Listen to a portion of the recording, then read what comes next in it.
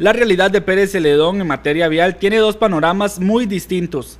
Por un lado hay dos vías nacionales que cruzan el cantón. Hablamos de la Ruta Interamericana Sur que luce en condiciones aceptables. Su capa de rodamiento está desgastada pero mantiene buenas condiciones.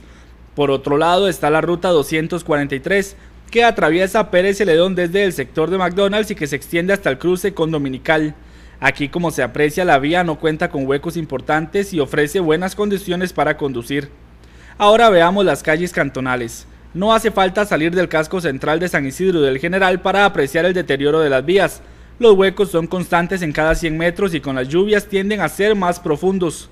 Ante esto, en la municipalidad dicen que ya se están realizando labores de corte en los huecos para intervenirlos. Hoy, hoy vienen recursos muy importantes que vamos a poder invertir en esos bacheos.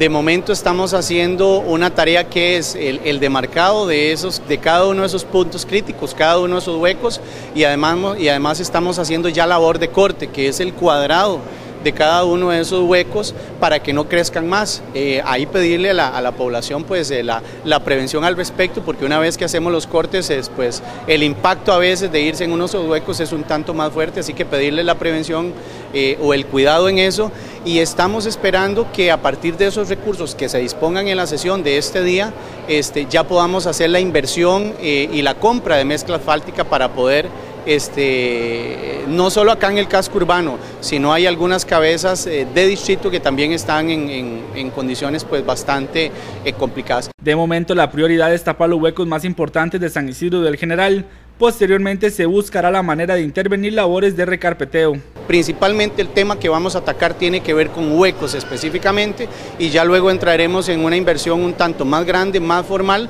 para lo que son algunos tipos de recarpeteos o paños más amplios.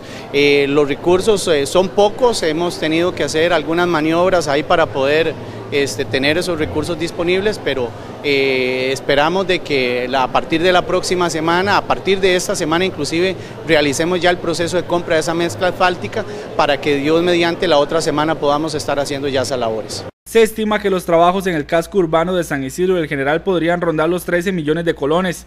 La intención es comenzar en el centro e ir saliendo a las zonas más rurales. La intervención va a ser en un espiral hacia afuera, o sea, a partir del casco central, digamos, del parque central, vamos a ir abarcando en una espiral hasta agotar los recursos. Este, estamos hablando de una inversión de unos 12, 13 millones de colones en mezcla y que esa, esa primera intervención la vamos a hacer nosotros directamente con, con equipo nuestro, con funcionarios nuestros. Se tiene la plancha, se tiene las cortadoras, eh, se tienen por supuesto los equipos eh, y pues eh, a partir de eso esa inversión la estamos haciendo nosotros pero sería bajo esa modalidad de intervención, o sea desde, desde el parque central y hasta afuera y todo lo que nos vaya abarcando inclusive a nivel de cabeceras de distrito. Esto quiere decir que vecinos como los de Peñas Blancas tendrán que esperar hasta que el espiral de trabajo llegue a su comunidad para que la municipalidad intervenga este enorme hueco que representa un riesgo para todos los conductores tal y como lo experimentaron estos motociclistas quienes por poco pierden el control de su moto al encontrarse este hueco en plena curva.